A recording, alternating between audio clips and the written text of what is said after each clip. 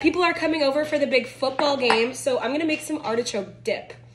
One block of Philadelphia cream cheese, one cup of sour cream, a cup of mayo. Now, I did not used to be a mayo girly. In fact, I would close my eyes at this part, but it really adds something. Just do the mayo and get over it.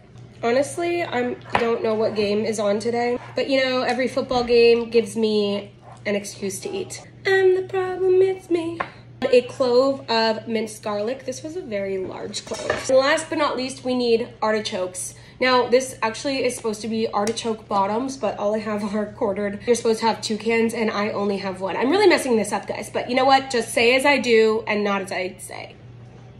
All right, put your artichokes in. I should have used a bigger bowl for this. A flat baking dish. Just some Parmesan on top.